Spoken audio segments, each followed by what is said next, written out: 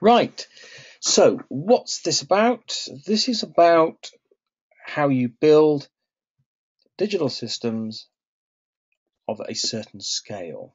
So, everything you've done so far has been, as far as the coursework I set, quite small individual components. You've never had to think about anything big, shall we say, nothing that's had to scale up to anything close to the size of, say, a microcontroller or microprocessor or something.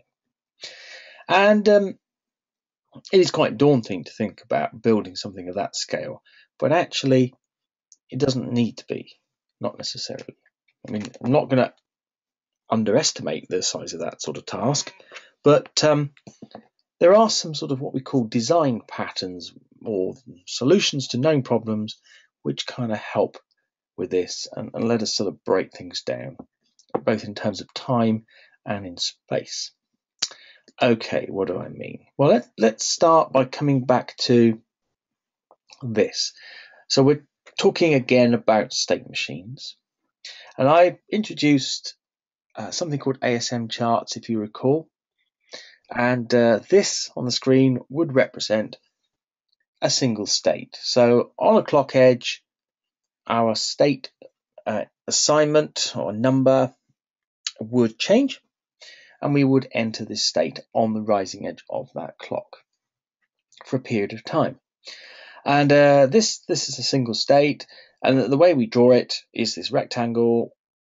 Any signals asserted high will be written inside the box. Now this is an important detail straight off the bat.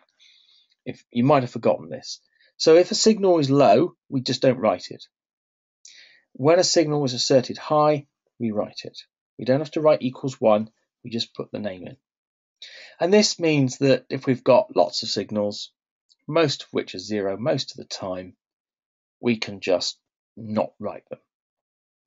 If you have an active low signal, you could always write a bar across the top. Top left hand corner, state name, which is just a convenient name to give it meaning for the designer. And then on the right, the state assignment, the actual number used to encode that state. All right. So this state lasts one clock cycle. So as I said, on the rising edge of the clock, we would transition to this state from that top arrow.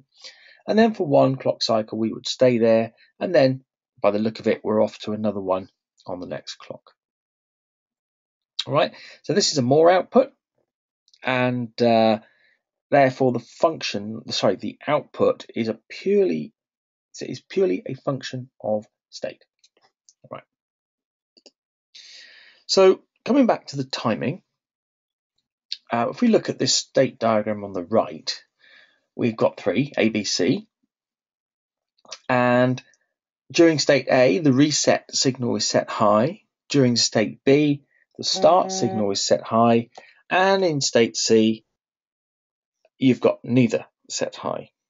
Okay, so let's now look at this timing diagram. And we see that same information. And I've added a little bit of propagation delay to add realism. So if we look at the clock at the top, we see the duration of time we're in state A. And notice that during the whole cycle, that reset signal is pulled high. Okay, uh, similarly for state B from the Moore output start, again, as soon as that right edge rises and we enter that state, the state internally gets changed. The output's just a function of that. So we see a change almost immediately in the output, bar a little bit of propagation delay in here. All right. So remember the output is just a function of state. What do we, how do we make functions? Combinational logic mostly yeah, AND gates, OR gates, multiplexers, those sorts of things. All right, so that's the that's the timing. So there we see those states labeled. As, I say, it's really important that that's kind of clear in your mind. All right, this is where so there'll be some so state A, whatever coding that is, it could be I don't know 12 or something, is sat on the input of some D-type flip-flops, and on the rising edge of the clock, blumph, it changes. That feeds into a block of logic, and the output for reset goes high.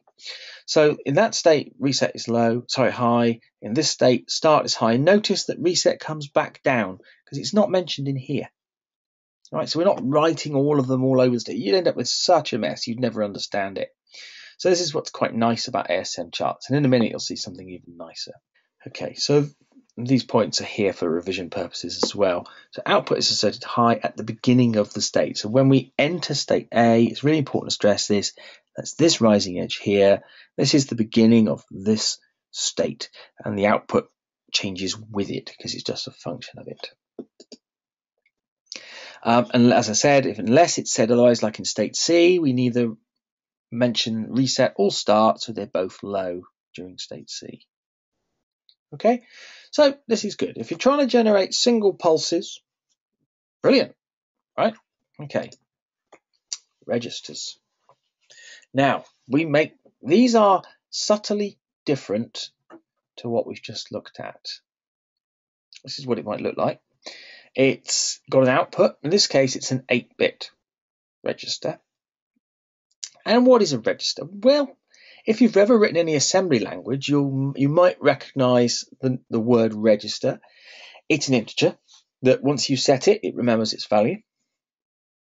Okay, if you've used the C programming language or C++, which you should all have if you've come through the first year, then you'll recognize that maybe, um, for example, a uh, unsigned char, right, would be an 8-bit register.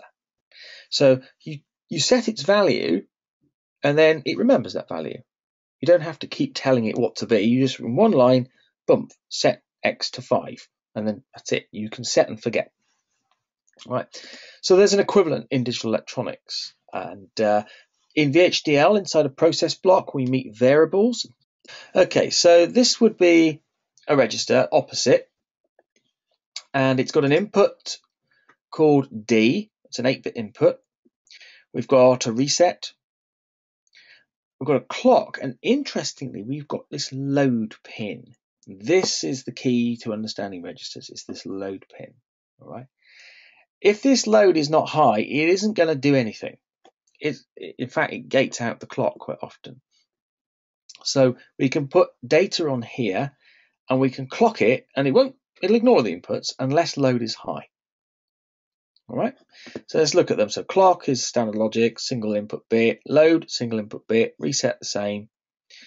D is an 8-bit input in this case, and Q is an 8-bit output. And we note in and out. Right, so that's the entity, and that's what it looks like. Now let's look at the architecture. So for the same entity, this is its architecture. Now the box in yellow is where I want you to sort of focus your attention, which is why of course I've drawn a box in yellow. So again, if we've got a rising edge of a clock, and if the load equals to one, then this signal here, I call latched, is equal to the input D. All right. And as I don't specify what latch should be for all the other cases, such as when load equals zero, then we've got an implicit latch there. So it sets it and remembers it. Okay, so looking through the whole thing, the output it just is set to latched. Latched is an internal signal. I've put this after 10 nanoseconds purely to make my simulations look a bit more realistic and to check my timing. Ignore that. Okay, so the output Q is just assigned to latch, so they, they've wired up. And then this process block is sensitive to clock and reset. Well, if reset goes low, latch gets set to zero. That's asynchronous reset. You've got to have one of those for power on. Um, other, if you're not resetting the device, then on a rising edge, if and only if load equals one, then we latch the value on the input. Okay. Um, so if load is zero, it just remembers whatever it was before. So in other words, it remembers the value. Um, let's look at some timing of this, then hopefully it'll make more sense. Uh, oh, sorry, before we do, if you if you write this code and uh, you synthesize it and build it and synthesize it in Quartus and actually have a look and see what it's used, this is what you see. And actually hardly anything's changed. That's because what I've just described in VHDL is a standard component called a register. Right? It's got a D input, it's got a clock, it's got this, my, I've called it load, but they call it enable, clock enable. All right. And we've got the reset here and the output. So I've not, I, have kind of reinvented something that's already in the library. And so you probably would use the part that's in the library, not, not the one I've written. Okay, so that's, that's that. Um, if we go in a little level deeper and have a look and see what Quartus has used, you'll see that this 8-bit input and 8-bit output, what is it? Well, it's just 8 latches, or 8 registers, I should say. 8 1-bit registers. All with a D input, a clock, and an enable. This is my load. Right. When that's high, then this input gets basically copied to the internal register and therefore the output. If it's low, the internal value is held and remembered and the output is latched and you can do what you like with the inputs and the clocks then, they're just ignored. All right. Now these exist, as I understand it, in the macro cells of the FPGA. So they're kind of a, if you like, a low level component. They come with the FPGA anyway.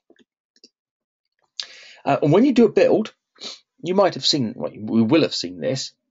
You might see this thing here, total registers. So for this code, I made this the only ent entity and I built it. And indeed, it's used eight registers. And they mean one bit registers, these things, which, which are in there in the macro cells. So let's look at the timing. This is where things differ slightly to what you saw just now. So here's the register that I've designed. Clock, load, asynchronous reset, and data. Let's have a look. So here's my data down here. Here's the rising edge. We've entered let's say we've entered state A. I want to set my register to 99. Okay, so I put 99 on the input and I set load high. So this is the state A here. So I've entered this, this initial state A. And semantically I'm saying set the register to 99. So I put 99 on here, here, and I set load high. But the output does not change immediately because this won't change until the rising edge of the, of, of the next state. So it's this edge here that will cause the output to change. And you can see it. 99 is here, look. This is the next state. State B, right? And that's when you see 99. So it's delayed one clock cycle. So another way of looking at this is that whatever value you put on here if you set load high, what you're saying is what's the next state of this output? What's it going to be the, on the next clock edge? All right. Um, so data must be stable before the clock edge. Load must be stable before the clock edge. Uh, these are D-type flip-flops, carefully designed to have no hold time, just setup time. So having set up what I want the output to be, we then have to wait for the next clock edge for it to change. All right, so there is a delay. So this is how you'd write it on an ASM chart. This was the slide I thought I was going to see. I've swapped them round. I'm regretting it now. Okay, so state A here, we would write, right? Okay, let's take this one. This is what we would do. We would set the data input to 99. We'd set load to 1. Then when we go to on the next clock edge, we go to this state, B, and that's when we see the uh, output of that register change. Now, that's the timing signals. That's what we've got here, dat and load. Notice that when we set, I don't even need that equals there, I could just write load. That's what we actually do. Way we write it, if we're thinking and trying to design things and we want to avoid clutter, I would write it like this. Output that's uh, this one here, that's this signal at the bottom, will be assigned to 99. This is a register transfer. Output is a register, and we're going to set it to 99. So that does not change it in state A, that's in this one.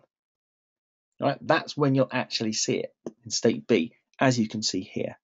So again, in state A, we set things up, And then on the next clock edge, with a little bit of propagation delay, we see the output change to 99. Notice that load then goes low and doesn't matter what you do with the clock and the inputs, the output stays at 99.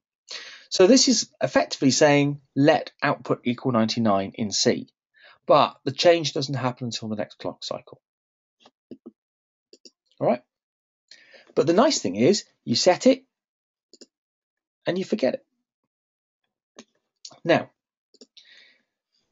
load is what we call a control signal. That's this load here.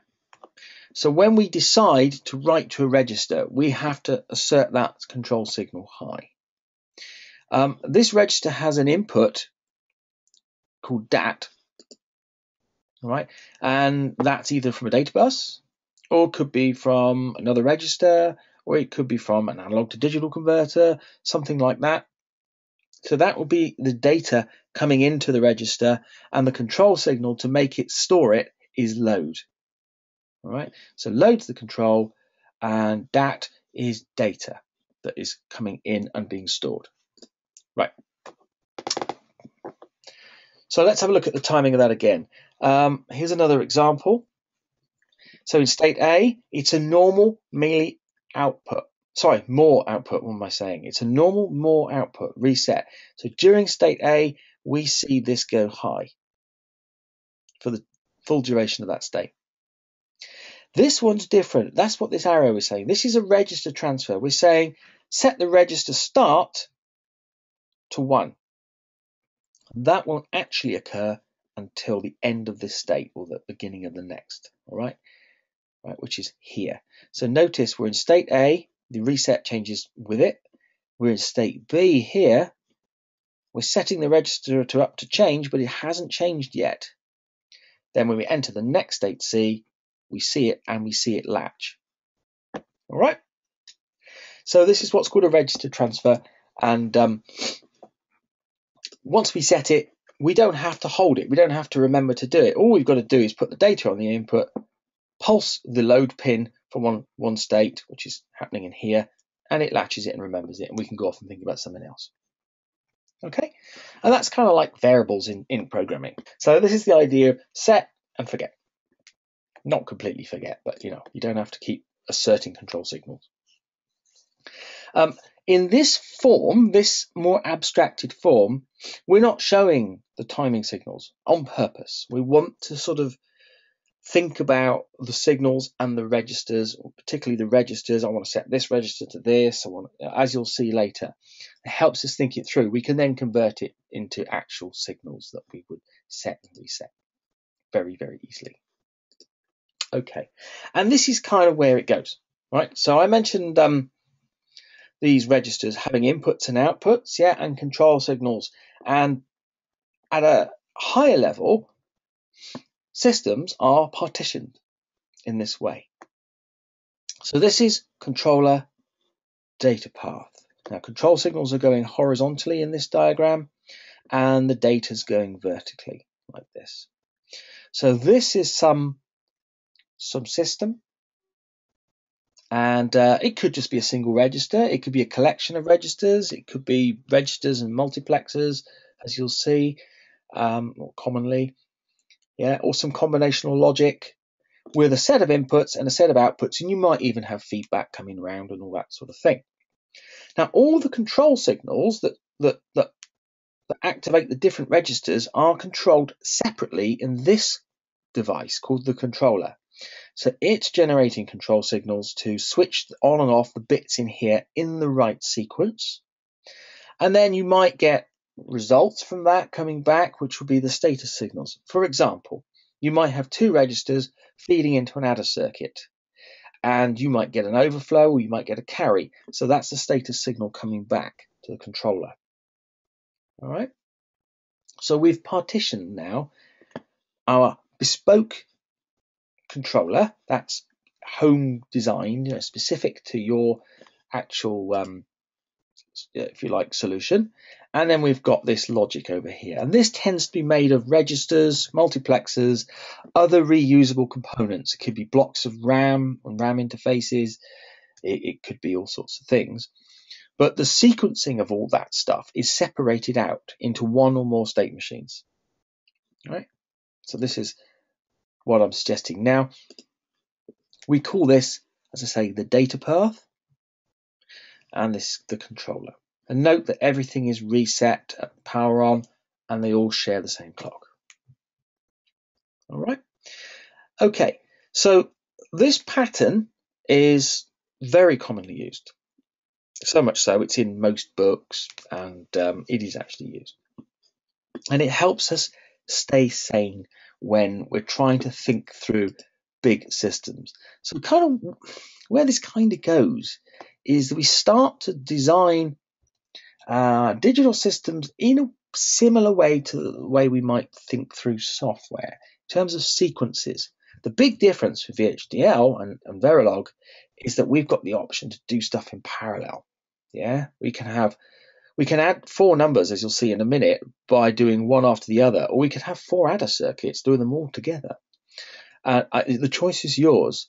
You just need to sequence it from here and pl- place down the logic over here. You can probably guess where this is leading. Um, one of the places this could lead, I mean, it's a, probably a bit late in the day to be saying this, and I'm not suggesting you rip up your your designs and change them now. But if we were talking about your coursework, for example, what have you got? You got Hall effect inputs, you've got a camera and some switches coming in here, and the output is the pulse width modulator and the speaker, and you might have some feedback as well. Um, but you could partition this, all right, into uh, one or more state machines over here, issuing control signals, switching on different bits at different times, and we sense back what's going on from here. Right. So inside this, you would probably have lots of registers and we'd be transferring information between them, routing it between different registers, storing intermediate results like you would with variables in a language. Yeah. So for example, you might feed the Hall effects into a timer circuit which estimates the speed. You might then store that speed in a register. At the same time, based on the previous speed, you might be adjusting the pulse width modulation to try and you know make the motors go faster or slower. Um, you can do things sequentially, like a microprocessor, or you can do them in parallel. Uh, we're not going to pick on such a complex example because that's non-trivial, right? Um, we're going to look at a much simpler one in a minute to, to make that point. I suspect some of you by now are scratching your head and wondering what's this all about. Um, it is an important subject though, so don't give up on it. Right, okay, no questions so far.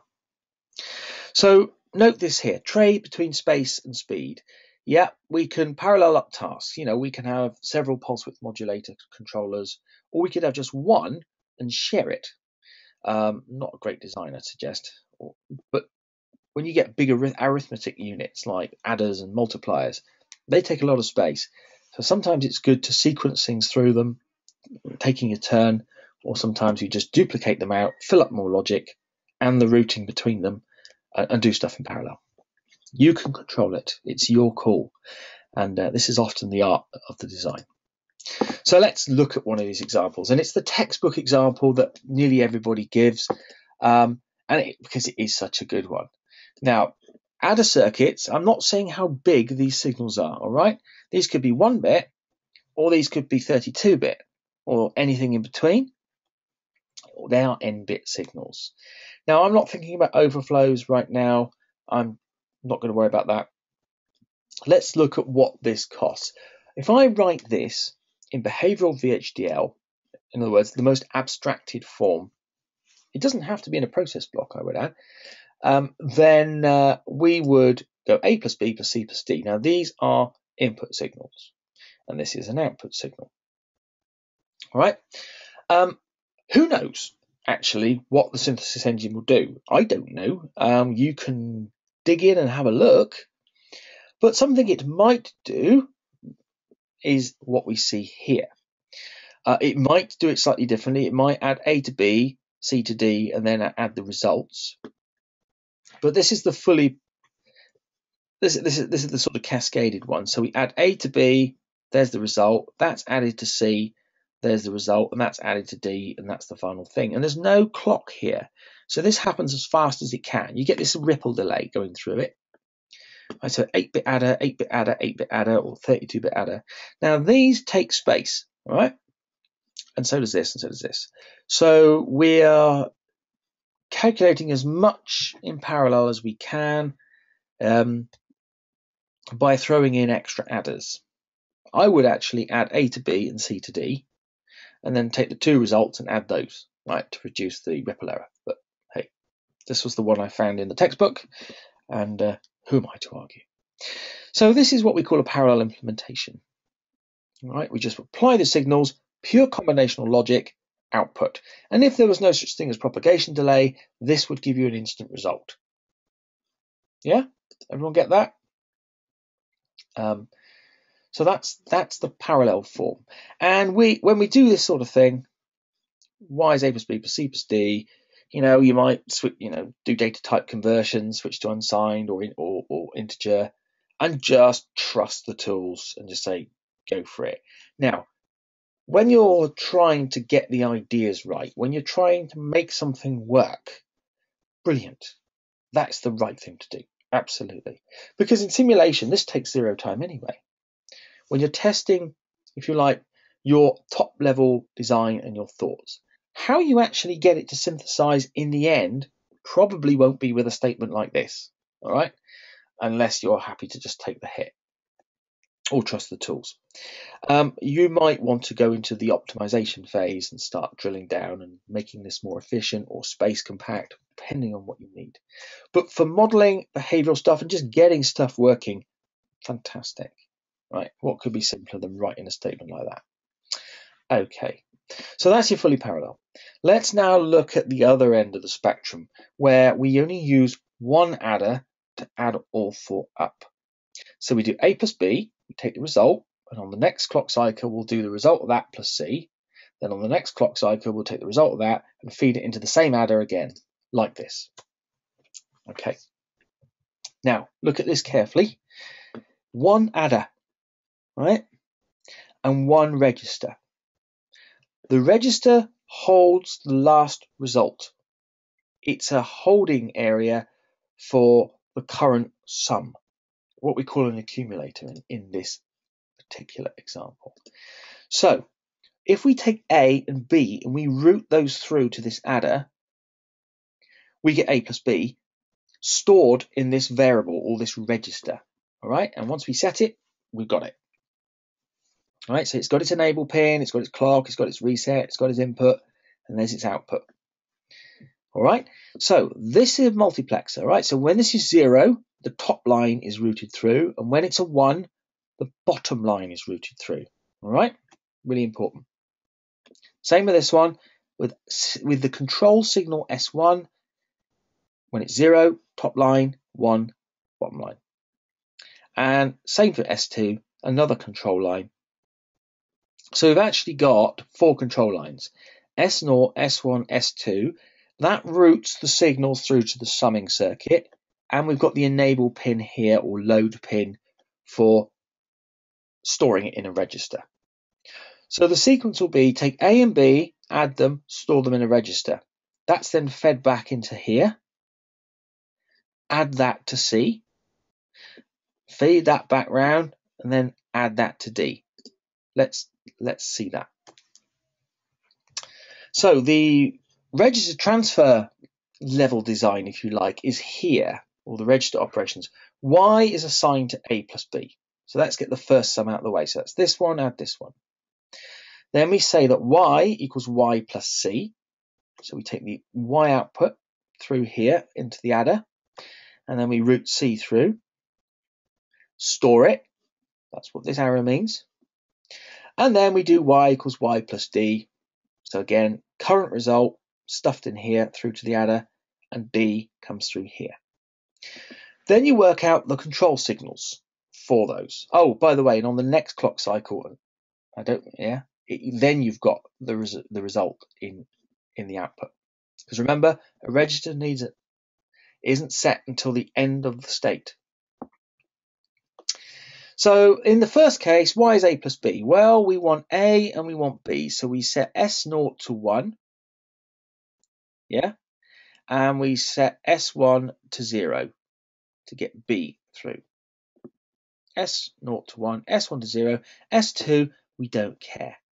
And we need to enable the register so that on the next clock cycle, it will be stored and fed back into here. Let's simplify it. Much nicer. Remember, Moore outputs. Yeah.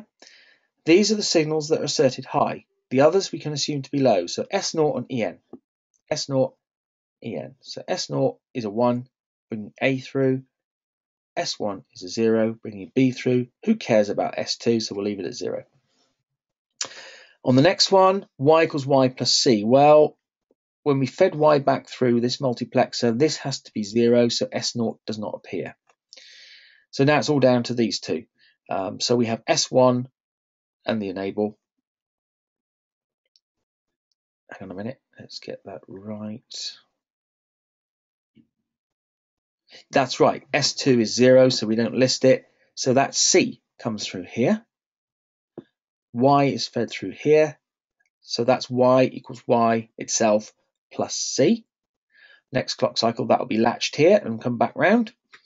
And then finally, we set S1 and S2 high. So that's uh, this one and this one. So we're routing D through to the adder. And we've got Y through to the other side of the adder and that means on the next clock y will be y plus d. So if you look at that, it's a bit like assembly language, right? Or microcode as it's sometimes called. So this is the fully sequential version. And let's get something straight before I'm going to say it later, I'm going to say it now. Don't go redesigning microprocessors if you find yourself doing everything sequentially, use a microcontroller. They're very cheap. Right? Um, if you're using an FPGA, you're doing that because you need parallel execution. Probably. They're much more expensive than microcontrollers and take a lot more time to design. But it's that freedom to switch between sequential or combine sequential and parallel execution that is so fantastic in these things. So there you go. So that that is the these are the signal sequences. These are the register transfers. These are much easier to understand, but, but in reality, we we do them this way. And note the creative use of multiplexers all over the place. Now, bear in mind, A, B, C, and D, um, and Y could be one-bit signals, or they could be 32-bit signals. All we need are bigger multiplexers and bigger adders and bigger registers the control signals are the same, right? And actually, Phil Colbhouse was saying to me that what you often do is, or you certainly used to do, was to start with one bit and test it all out, and then increase it. Let's come back to this example then, this sequential adder. Remember, what are we achieving here? We're only using up one adder circuit. This would be particularly relevant if we were multiplying, I would add, or particularly even more so dividing, because they get big. And you've only got so many of those hardware.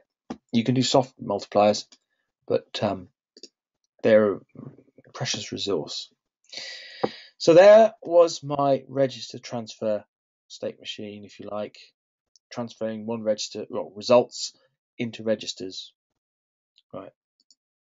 Those were the actual signals written as Moore machine outputs, um, sequencing the whole thing, right? Sequencing, routing signals through the circuit and back background, right, to get the result we want. Okay, so it's kind of like programming.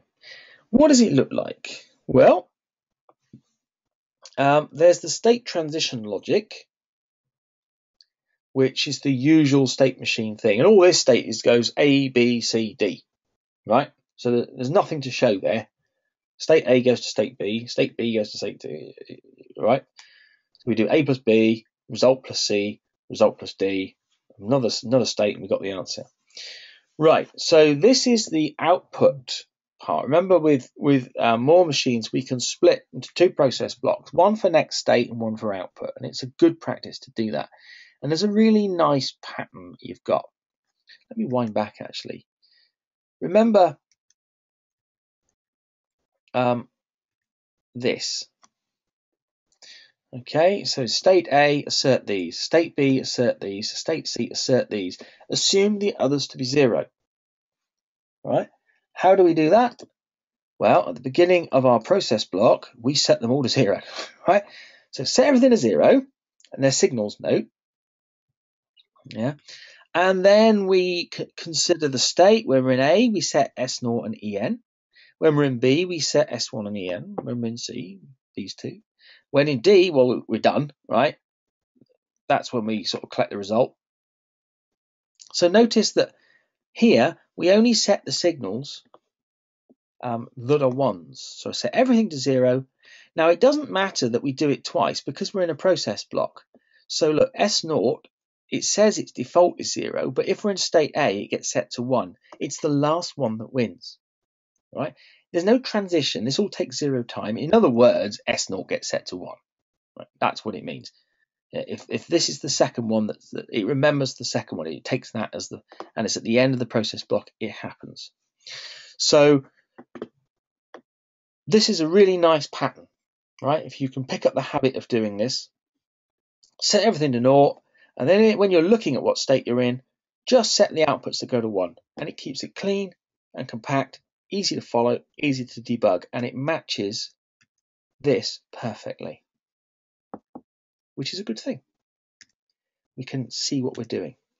Sorry, there it is again. So there you go. Uh, so you start with the register transfers, drill down to the signals, build the, the state logic, and that's your control. All right. This over here is your data path, right? You've got your inputs coming in, your output coming out, and there's your control lines. And I've written them the other way around now. I've got data path coming in horizontally, and I've got control lines coming in vertically, right? But they're separate. All right, so let's look at it. Um, oh, whoa, whoa, whoa, steady. So this was the actual design that I did because I've built this and I've put it on the module site. You might not have noticed, but it's there. All right, uh, so this is the actual timing result. And no kidding, I built this one for this lecture following the exact principles I've described, and it all worked first time, which is not common with VHDL. state A, state B, state C, state D. In A, okay, so we, uh, this is our output Y. You can see the intermediate results on this register. So the inputs are 5, 3, 10, and 2, and I want to add them all up. So 5 plus 3 is what's presented at the beginning. All right, and uh, I'm not showing you the load signal, am I? No, no, we're just seeing the, the, the, the different states as we go through. So in state A, we got is when we see all the, out, the inputs presented. Uh, in the next state, we see the, the, the result in the register, which is 8. 5 plus 3. Then it's 8 plus 10 and then it's 10 plus 2, which, sorry, talking rubbish, 18 plus 2, which is 20. Right, so in the fourth state, D, we actually see a result. And if you do nothing more, then it just stays there. All right, so that, that that's it. So notice these intermediate results because it's sequential. This is what it looks like in Quartus. Okay, so Again, I've separated them. I've just got in here, all we've got is a single adder and some multiplexers. We've got data coming in, we've got data going out. And then I've got a whole load of, well, obviously we've got the clock and the reset, right? But we've got enable S0, S1, and S2. They're my control lines. And they are fed by the controller. Right. This one doesn't produce any results that I can feed back to the controller. It's a bit simpler than that. Anyway, let's have a look at the data path. This is what we've actually got. It looks scary, but it's just that diagram I did just now. So that's the adder, that's the register, and these are the multiplexers routing the signals into the adder. Note the output fed back through this multiplexer here. And these multiplexers, these bus mux, is just part of the standard library. To be honest, there's an adder in there as well, but it's a bit more complicated than mine. And I want to keep it simple. And there'll be registers in there as well, but again, I wanted to actually show you what it, you know, what it is and how it's made. I've made mine generic as well, notice. So I can change the number of bits the moment I'm on an 8-bit signal, but I could just change these numbers and I could go up to 32-bit and the design would stay the same. It would take up more space, uh, but uh, I would just need to change my signals and I've now got a 32-bit system. All right, so that is just that, that thing there. Right, mux, mux, mux, sum, register, feedback. Exactly the same thing. So that, that you know, it's a way to keep in control of things as they get complex, partitioning things off. Um, and don't think it's just one data path and one controller. Components can be built like this, and then they become part of the data path or part of the controller. You know. Right, so that's your data path. Um, so, moving on. So those multiplexers, if you, all right, let's wind back a bit. Sorry, if you look at these, there's quite a bit of routing going on through this thing, and these, you know, these are 32-bit lines. They're going to start taking up space. So let's look at something where we don't have particularly fast or tight real-time deadlines. And this is this idea that we've got an analog to digital converter here, which takes an analog input and converts it to, I'm going to say an 8-bit number. And this is a digital to analog converter, which takes an 8-bit number and converts it to a voltage. And um, I want to interface this to a microcontroller. I might have a soft core, which is a VHDL or Verilog microprocessor or microcontroller. And you can get those, plenty of them. Right, so what I'd like to do, because this could be busy doing something, I want to, when I get an analog to digital conversion completed, I want to store it in this register. Uh, when I've got a valid result and I'm ready to write it out, I want to store it in this register and then convert it. All right, so we have this shared data line here. Now note that this one is writing to these lines, these parallel wires. The CPU has bidirectional, we'll come to that, but this one's just an input right? Now inputs are high impedance anyway. Um, they just sense, they don't cause bus collisions. They're fine. But this, this output of this thing, uh, we've got to be careful because if the microprocessor is writing to these wires, we mustn't write to them with this one. Okay. So this thing needs to be capable of going into a high impedance state. This output needs to disappear like it isn't connected. All right. So a slight modification on this register would be an output enable. So that's what I've added now. I've just tweaked my register a bit and I've added this output enable so that I can make the output tri-state. All right, so there we go, another input and Q still just type out and it's standard logic vector. We've got separate inputs, so we've got data as an input and Q as an output, they are distinct. They're not connected together because this is coming from another component. The output can go into the Z state mm. it, when the output enable pin is low. And yeah, okay, that's saying the same thing. Okay. Let's have a look at the logic for this.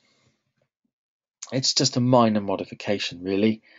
Uh, again, notice that the output Q is asserted to this latched signal, this one here.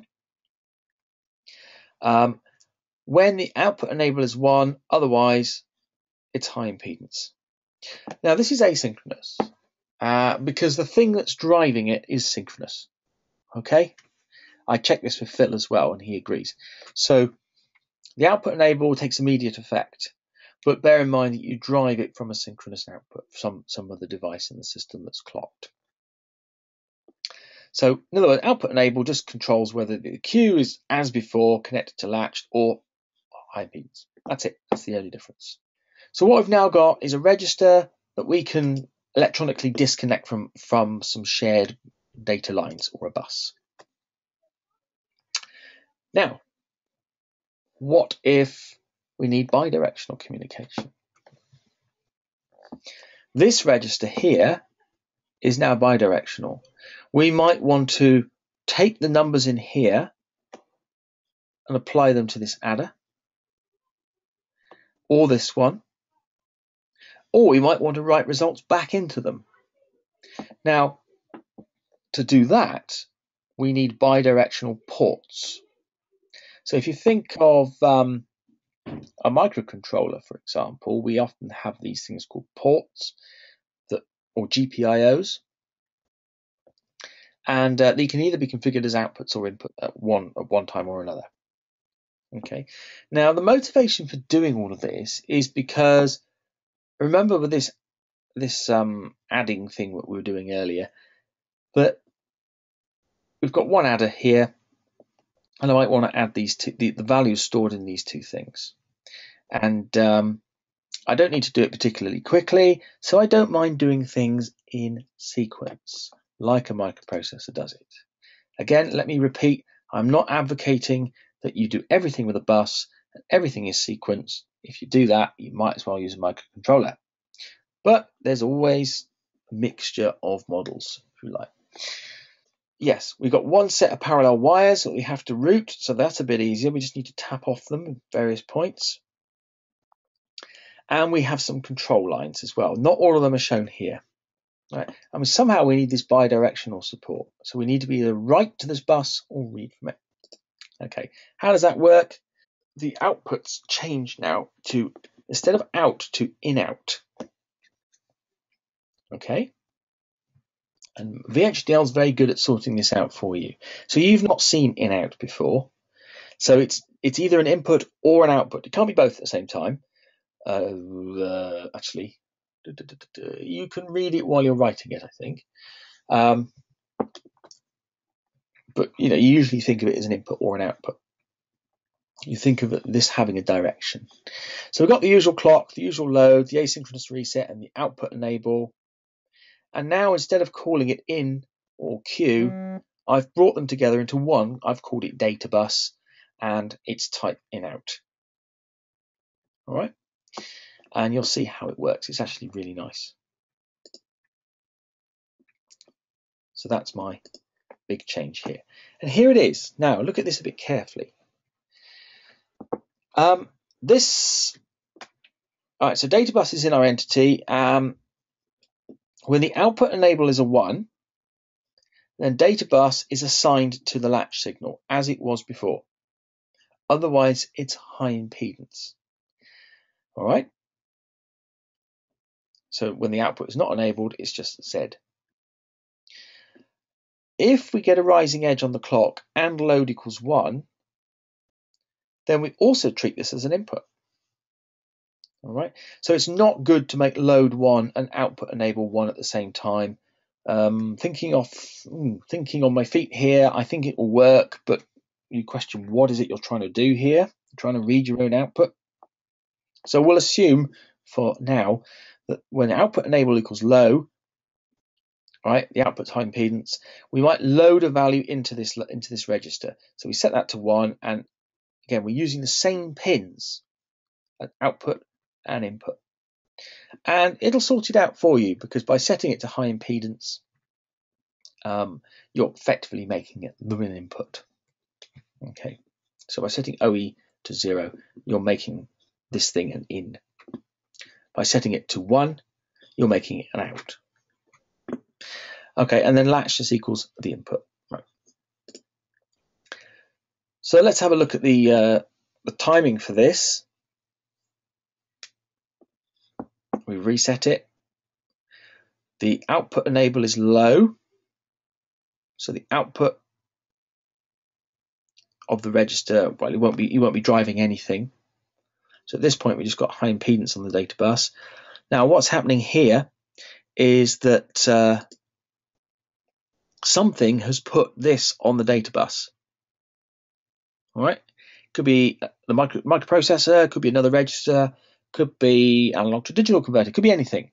has has written to the data bus, okay, and that's the value on the bus. Now, I'll, I'll emphasize that this device has not done that, and we're now going to pull in this state.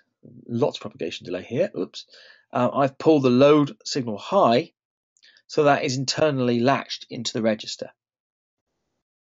Okay, so now rising edge bump at this point here inside the register, we've now got this thing latched AA. So load goes down.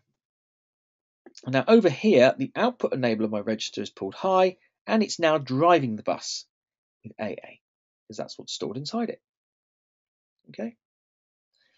So we've read in this cycle here. So something else has written this and we read it in and here we're writing it back out again.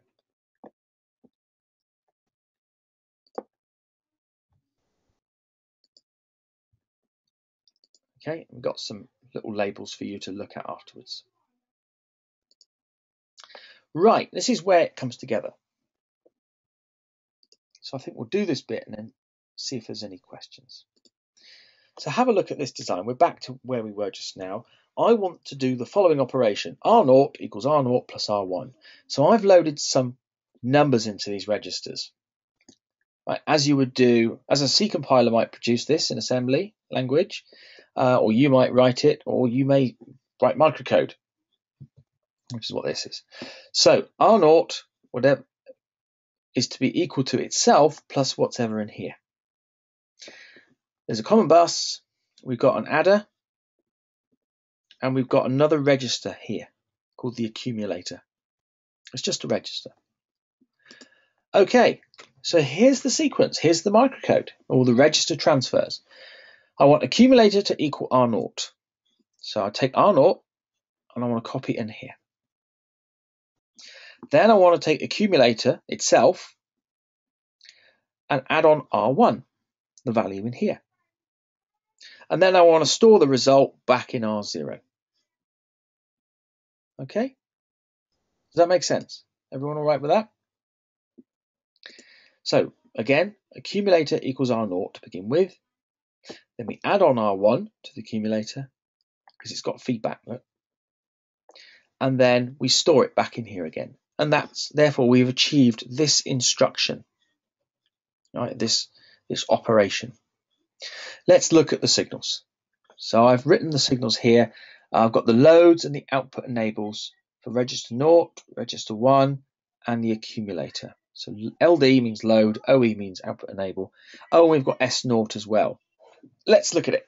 So this is the sort of register transfer um, level design, if you like, or register operations. Now we need to convert that to timing signals. And remember, we only write the ones that are high.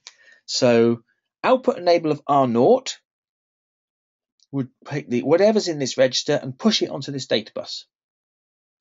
And LDA will load whatever's on here and store it here on the next clock cycle. S0 is zero by default, so the top one, that's this bus, comes through into the accumulator. So that's state A. Note the bold lines. All right, we've output enabled R0. We've routed it through the mux to the input of the accumulator. We've pulled load high. And then state B, this signal here and here, they're the same thing will be uh, valid. So let's look at state B. Take the output of the accumulator, okay, which is connected to here. So what have we got? We've got OER1. So now we're putting R1 onto the bus. And that's connected to this adder. The output of the accumulator is on the other input of, of the adder. So this is accumulator equals itself plus R1. Right? S naught is set to 1. So we take this bottom path and feed it into here. So that's going to be the next state of, of, of ACC, the accumulator. So that is state B. state C, we will have R0 plus R1 on the output of the accumulator now. And that's now, we've enabled the output enable of, of that, OEA. So that's pushed onto the bus and R0 is set to read with the load pin. So on the next clock cycle in D, R0 holds the value.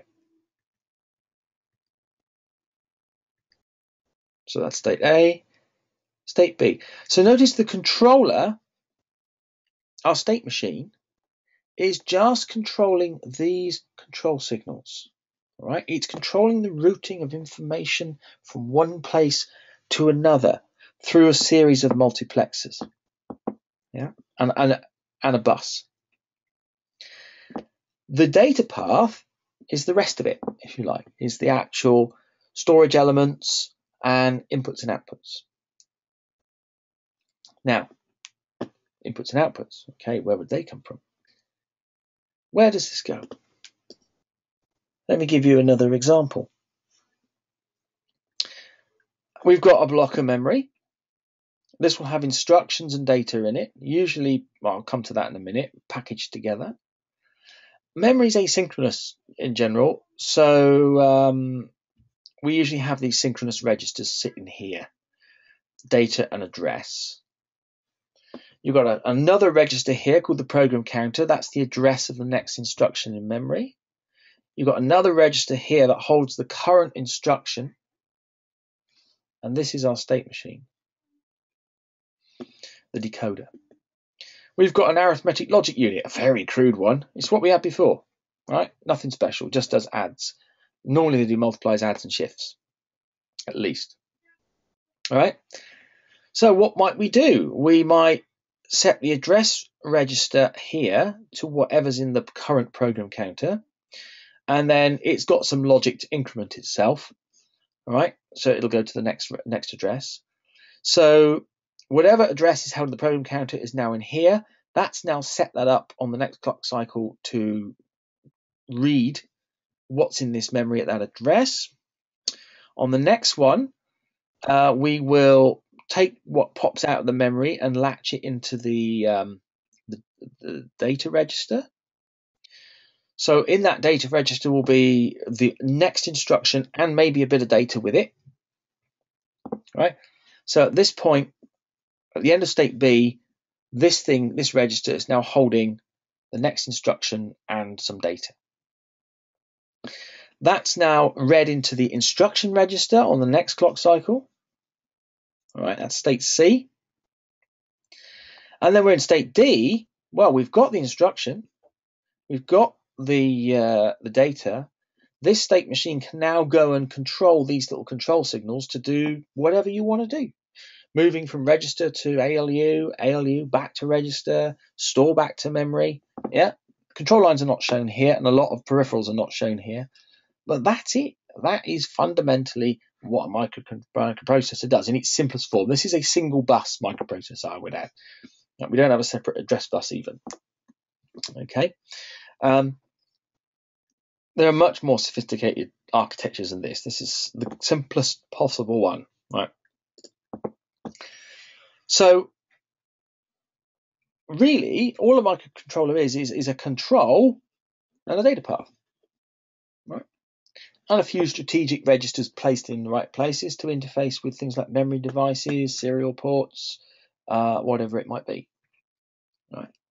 Uh, yeah, this is, as I said before, this is grossly simplified, but it would be all right for adding a couple numbers. You might overflow a bit, but um, it would be all right. And obviously, there's a lot more that could be hooked onto it. Now, you can get soft-core microcontrollers, uh, 8051s, ARM Cortex M0s, etc., etc., that you can actually program into your FPGA, and then you can build your own stuff to hang off the bus, and you can parallel stuff up that a microprocessor can't do.